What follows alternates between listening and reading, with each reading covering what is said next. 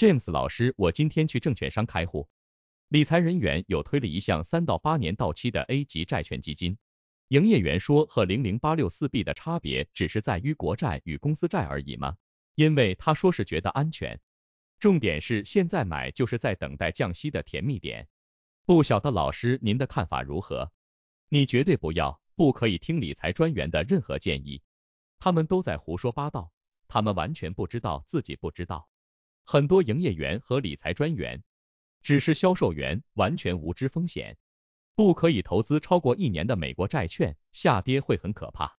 而且这所谓的 A 级债券不是政府公债，这是垃圾债，这风险更高，你会破产的。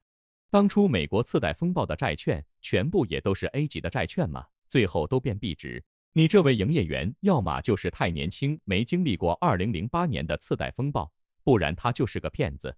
现在是高利率时代，很多小公司发行的公司债。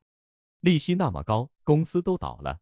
你你借钱给这些摇摇欲坠的小公司，还拿得回本金吗？已经很多上市的公司债都归零了。永远记得不要听任何银行的理财专员和任何券商柜台人员的金融建议，他们都是妖魔鬼怪，他们要赚你的手续费，他们不会管你的资产死活。真正有良心的理财专员和营业员可能有，但不多，你没那么幸运。你是投资小白，最好把耳朵闭起来，不要听银行的任何建议。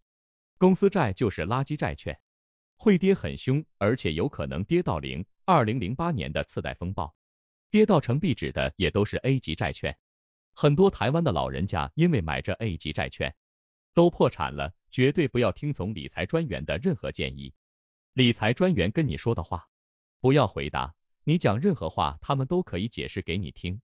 你就笑笑就好，不说话，不回答，你才不会被鬼抓去。一定要切记，切记。以上供大家参考，并思考你是如何做财务计划的。